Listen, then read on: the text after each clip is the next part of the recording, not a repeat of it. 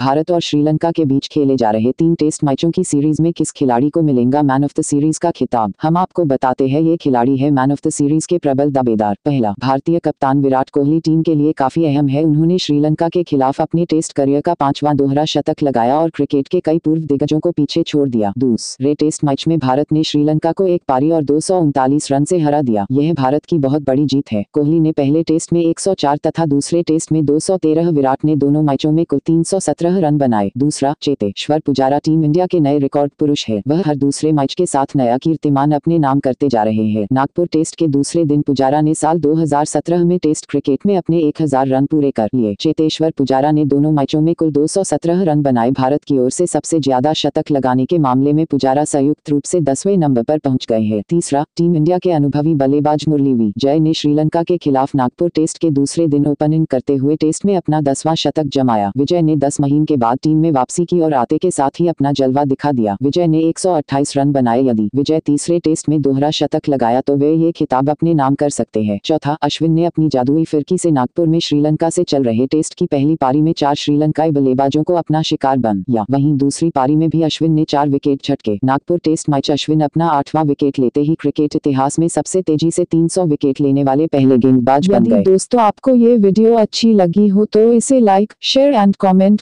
करें और क्रिकेट की हर खबर के लिए हमारा चैनल सब्सक्राइब करें। धन्यवाद।